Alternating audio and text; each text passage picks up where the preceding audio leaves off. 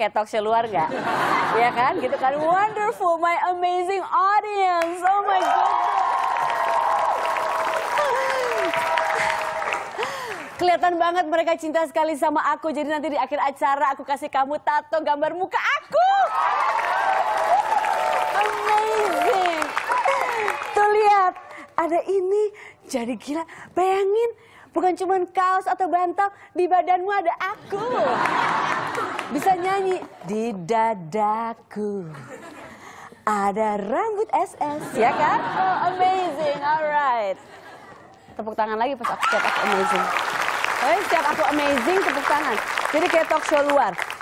Memang ini acara luar biasa dengan pembawa acara yang luar biasa. Beberapa waktu lalu ada yang bilang gini ke aku, Mbak Sarah, Mbak Sarah tuh luar biasa banget, aku tuh ngefans sekali. Oh my God, thank you. Walaupun Raja nggak terlalu ngefans sama aku, tapi orang lain suka ada yang ngefans sama aku beberapa orang. Dia bilang gini, Mbak Sarah kapan Mbak Sarah mau bikin buku, pasti ceritanya menarik sekali. Oh ya? Cerita aku menarik sekali. Iya cerita tentang sehari-hari Mbak Sarah tuh gimana itu inspirasi. Sehari-hari bangun tidur ngurus anak, anak di sekolah, tidur lagi sejam. Habis gitu turun ke bawah, bikin sarapan, upload foto-foto cangkir teh sama roti meses aku. Aku pikir apa yang akan menarik dari hidup aku? Kalian setuju gak kalau aku bikin buku tentang diri aku? Pasti dibeli nggak? Dia bilang tulis aja, beli sih nggak janji. Tapi kan sekarang banyak sekali ya. itu yang kameramen itu kenapa ketawanya kenceng banget sih? itu kan nggak terlalu lucu. Yang lucu tuh yang tadi yang amazing amazing tuh lucu. Uh, sekarang ini kan banyak sekali, nggak sekarang sih, sebetulnya sudah dimulai dari tahun-tahun kemarin. Banyak sekali selebritis Indonesia yang menulis buku ya tentang perjalanan hidupnya. Ada juga yang bentuknya novel, cerita-cerita fiksi, pokoknya menulis buku. Di tahun ini aja ada banyak sekali ya. Coba kita lihat siapa-siapa aja ada foto-fotonya nih yang menulis buku. Artis Indonesia, Dewi, kalau Dewi Lestari sih memang nulis novel ya, dia penulis novel.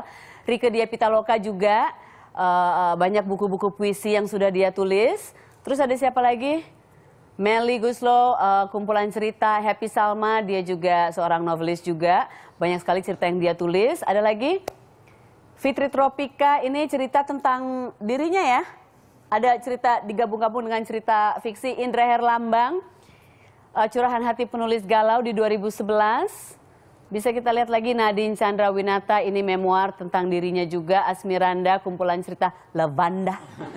Terus ada siapa lagi? Oh, Sarah Sehan belum nulis. Sarah Sehan nanti. Aku bingung, aku mau nulis tentang apa ya? Kayaknya lebih menarik cerita tentang kehidupan Bibi deh.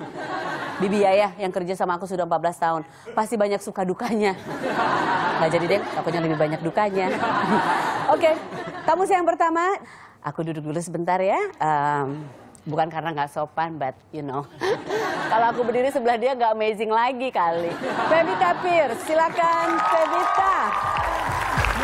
Amazing, amazing leg, amazing heels. Please have a seat. Halo, Teh. Have a seat, have a seat, just have a seat.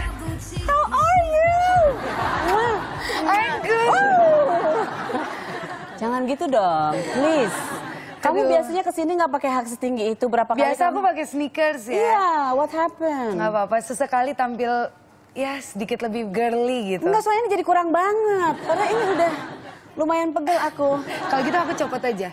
Udah duduk sekarang nggak ngaruh. Mau kamu taruh di kepala juga udah nggak ngaruh sekarang sepatunya. Kamu sehat ya? Sehat alhamdulillah. Seneng banget diundang Teteh lagi ke sini. Bawa buku kamu nggak? Selamat loh sudah keluar bukunya. Thank Di you, bulan thank Oktober pas ulang tahun ke-22. Pas ulang tahun ke-22, iya. 22 tahun aja umurnya. Iya. That's nice. It's amazing. It's amazing. Aku juga 22 tahun, 20 tahun yang lalu. 18 deh nggak 20 tahun. Ngeluarin buku itu gimana sih rasanya? Is it what you've been wanting to do? No, this it's- book? It's in the beginning actually I don't want to write. Ini kan bukunya bukan bukan biografi, bukan menceritakan tentang diri aku, bukan. Tapi buku ini kumpulan cerita pendek fiksi yang karena terbiasa baca skrip, terbiasa baca uh, skenario Iya, semua iya. itu jadi uh, imajinasinya terlatih kan. Oh jadi bukan buku tentang kamu, ada tentang kamunya sedikit kali di situ nggak ada? Itu terserah bagaimana pembaca mau melihatnya. Oh, oke. Gitu, tapi ini adalah cerita yang ringan, Aha. love story yang memang terjadi di antara kita semua. Seperti itu. Bener ya kalau aku baca aku harus gini ya. Aku itu aku banget. Bisa, bisa. Ditaksir 10 cowok, aku banget. Waktu TK. Tapi lucunya sebenarnya awalnya nggak mau bikin buku Oh, ya? tentang tentang ini. Tentang awalnya apa? itu mau bikin buku tentang fashion. Oh, Pengen buku oke. tentang fashion, terus kayak ketemu sama Bang MK, Muammar MK. Oke. Penulis. Dia jadi editornya Ah, untuk ah, buku Jakarta ini ya. Undercover. Terus habis itu Bang MK baca tuh kumpulan cerita pendek sama puisi aku. Terus Bang MK bilang, kenapa nggak ini aja dibukuin? Ah enggak, nggak pede nih. Ini cuma coret-coretan iseng. Terus dia kayak, ini cepet loh gini gini gini. Akhirnya ya udah yang jadi itu dulu Our Notebook. Our notebook ini, Our Notebook Peace in Mind, War at Heart. Iya. Itu judulnya ya. Pakai bahasa Inggris jadinya? Enggak Eh, kan? Enggak, dalamnya enggak. Enggak ya, mix, mix. Karena ini bener-bener eh, aku membuat ini yang penting masih muda, yang penting berkarya, bukan untuk yang penting laku gitu komersil enggak. Aku belum beli bukunya, aku belum baca, tapi aku harus beli karena sudah ada di toko-toko Nggak, buku ya. Jangan beli, biar aku kasih nanti ke teh. Aduh, aku jadi nggak enak loh. aku tuh kan juga, Gratisan kan enak teh. aku, aduh, aku tuh kan di, kerja ini aku juga dibayar, tapi oke lah, oke nggak apa-apa kalau mau kasih gratis, oke. Thank you banget ya, baik banget. Aku suka acara, aku suka acara aku di mana aku yang ngebawain sehingga aku mendapat gratisan terus dari tamu-tamu aku. Kemarin-kemarin aku dari dia suka dapat jewelry, dapat apa, sekarang dapat buku. Thank you so much. Nah ini eh, di 6 Oktober ini se- semenjak kemarin rilis, gimana kamu sudah dengar eh, masukan dari orang-orang atau pembaca-pembaca komentar mereka nggak? Eh, Alhamdulillah sih banyak yang ngirim email gitu bilang bahwa terharu dilanjutin lagi enggak gini gini gini. Udah pada nunggu berikutnya malah. Iya, aku yang kayak, ah, waduh ini kan iseng. Padahal aku yang kayak, I have no idea what, what should I write Iya, after iya, this iya. gitu. Tapi itu jadi beban atau jadi motivasi malah? Enggak sih, aku aku selalu melakukan ketika aku nyaman. Oh, jadi eh, jadi ya udah kalau Waktunya suka, akan datang kalau eh, mau Kalau ya. misalnya aku pengen lanjutin, aku akan lanjutin. Tapi satu sih yang aku paling tegang, apa? buku ini belum dibaca sama mama, sama Oh. mami aku. Justru belum. Kenapa? Belum. Aku umpetin terus. Loh, kok Kayak, gitu? "Oh, belum, mami belum. Takut karena komentar mami tuh komentar paling jujur. Oh gitu. Aku tapi justru aku lebih takut komentar dari mami aku. Iya ya, tapi kan nggak apa-apa. Justru katanya komentar paling jujur dari orang terdekat itu yang sejujur-jujurnya itu komentar yang kritik yang membangun, membuat kamu Aku- jadi lebih baik. Iya sih, tapi belum siap. Mungkin aku lagi ngumpulin mental aku tuh untuk itu. Oh gitu ya. Heeh. Aku undang ah mamanya ke sini. Ah jangan dong. Tante baca. Jadi tante baca, nanti tante kasih komentar live. Wah. Biar semua tahu. Nggak apa-apa dong. Itu itu untuk memotivasi eh, kamu untuk berikutnya. Ya, Tapi yang aku mami kalau misalnya nonton, nanti by the time mami nonton, Pevita udah kirim ke Udah kirim, iya dia bilang gini, apa diumpetin? Kamu pulang dari sini sekarang diobrak-abrik kamarnya. udah berantakan, kasurnya udah digenteng. Eh, Ah, kalau nggak koper udah di, di luar udah di semua. luar, kasih Keluar kalau nggak kamu nggak usah tidur di sini lagi. Cuman aku pengen tahu ini aku penasaran. Kamu bilang tadi eh, Muhammad MK, MK ini ngelihat bahwa ini adalah cerita-cerita kamu sama puisi-puisi yang sudah kamu tulis dari beberapa tahun kemarin. Iya, betul. Jadi kamu iseng itu pas lagi apa maksudnya lagi abis pulang kerja terus iseng di kamar belum bisa tidur when you're doing your traveling atau dikhususkan waktu duduk ah pengen ini atau apa sih prosesnya gimana? Biasanya sih eh, awalnya banget itu pertama kali mulai nulis waktu lagi keliling Uni Emirat Arab naik, Oh, oke. naik cruise gitu. Oh, cruise, Terus di situ kan banyak banget orang. Uh-uh. Terus aku ingat waktu dulu aku di New York Film Academy aku belajar setiap kita ngeliat orang kita bayangin background kehidupannya dia. Oh, gitu terus aku bayangin. imajinasi aja Aku, lah ah, gitu ya. imajinasi, Oke, terus mama kok seru sendiri sama imajinasi tulis A gitu. Oh, Akhirnya tulis. situ. Terus dari situ, terus habis itu ada kumpulan puisi-puisi yang biasa ditulis pas lagi syuting kan nunggu tuh. Uh-uh. Terus kayak ngebayangin kan lagi karakternya misalnya lagi karakter Hayati gitu. Terus nulis kayak ya gitu-gitu lah. in her state In of her- mind iya, gitu, dalam uh, soulnya si Hayati itu. Iya, jadi kalau kalau ditanya, Pevita nulis apa sih? Apa isi bukunya? Nggak tahu. Ketika nulis tuh kayak lost aja. In trance Oh, aja oh, gitu I was kayak not di dunia myself, lain. iya. Tuh kan makanya Pevita tuh bisa nulis buku karena kan Pevita memang kerjaannya banyak udah jadi Hayati jadi siapa jadi banyak banget. Aku tiap jadi sini lagi jadi sini lagi aku ngebayangin siapa dong. Oh ngebayangin bintang tamu aku aja ya. Nah bisa Nanti tuh. aja, nanti aja. Kalau Tapi- nggak bocorin rahasia-rahasia bintang tamu gitu kan. Gak pernah berhasil aku nanya apa-apa nggak pernah berhasil.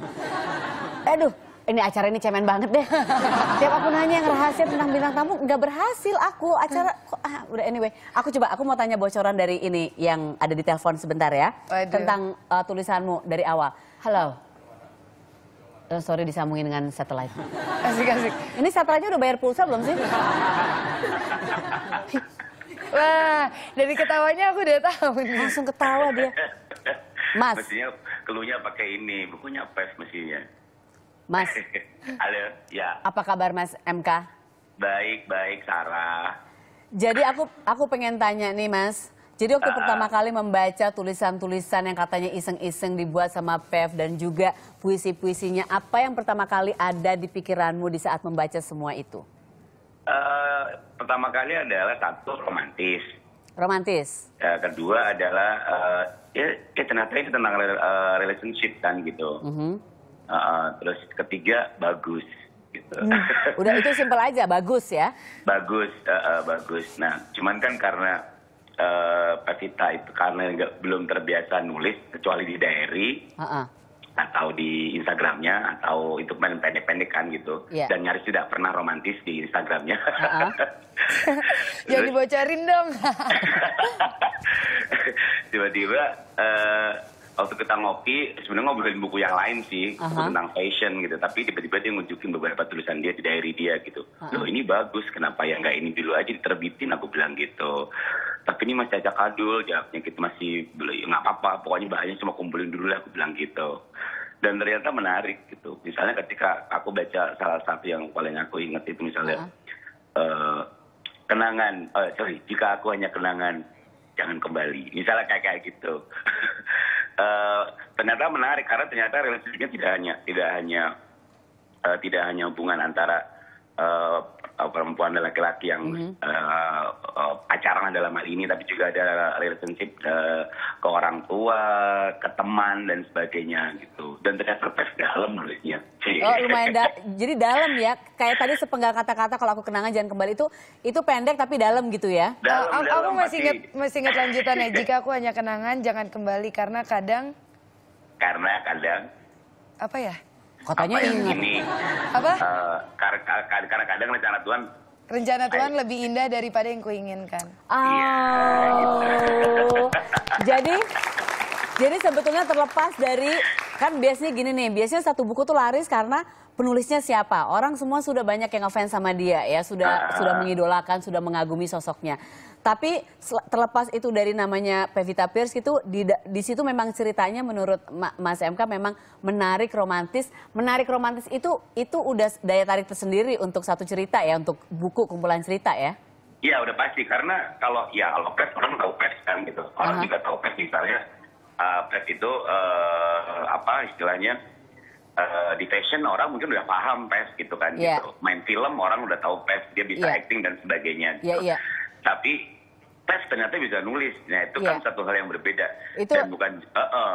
dan ternyata yang paling penting adalah uh, dia bisa menulis uh, menuliskan satu peristiwa demi peristiwa itu dengan bahasa yang romantis dan menarik. Aduh, Bang jadi, salah seolah-olah nih. yang baca bisa masuk ke hati dan kepikiran seorang Pevita Pierce gitu ya.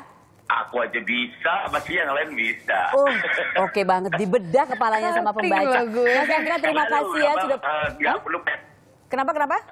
Kali apa yang bayang. Jadi dia menceritakan misalnya soal soal ketika dia ditinggal sahabatnya pergi karena mening- eh, kecelakaan gitu. Aha. Pes itu cukup menceritakannya dengan dengan tidak lebih dari dua halaman. Itu dan itu menyentuh banget. Dan menyentuh. Wow. misalnya eh, Aku kalau harus aku sekarang beli. eh, iya eh, kalau aku eh, kalau kamu masih di sini mungkin kamu eh, kalau kamu masih di sini mungkin aku tidak akan Mas MK, cerita ini jangan lagi ceritain gitu-gitu. semuanya, jangan dibacain, jangan dibacain bukunya Oh, iya, sekarang kan iya, aku iya, mau iya. beli Mas MK. Nanti kita ngobrol terus malah aku nggak beli-beli loh. Mas MK terima kasih ya sudah ngobrol-ngobrol di sini you, ya. Thank you. Dah. Jangan ke mana-mana. Habis ini kita akan ngobrol lagi. Kalau baca bukunya baru bisa mendalami hatinya dan pikirannya. Tapi di sini aku akan mencoba tanpa membaca bukunya, aku akan mendalami pikiranmu. Cakep nggak? Amazing! Oh my God, amazing! Amazing, Don't go anywhere, stay right here. Ke acara luar.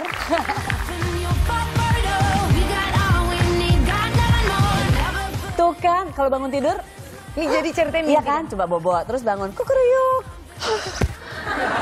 Eh, efeknya sebenarnya nggak gitu yang dipinginkan.